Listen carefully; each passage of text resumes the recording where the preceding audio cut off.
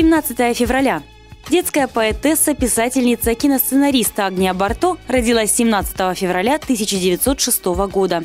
Училась в гимназии и одновременно в балетной школе. Затем поступила в хореографическое училище и после его окончания в балетную труппу, где работала около года. Первым мужем Агнии Львовны был поэт Павел Барто. Совместно с ним она написала три стихотворения. Первыми опубликованными стихотворениями Агнии были «Китайчонок Ван Ли» и «Мишка-воришка». Большинство ее стихов написано для детей дошкольников или младших школьников. Барто – автор сценариев кинофильмов «Подкидыш» совместно с Риной Зеленой, «Слон и веревочка», Алеша Птицын вырабатывает характер.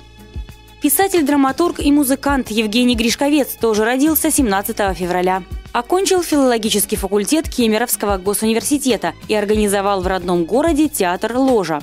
Театр ставил по одному, а иногда и по два спектакля в год. Ездил на гастроли, участвовал в фестивалях самодеятельных театров. В 1998 году Гришковец переехал в Калининград.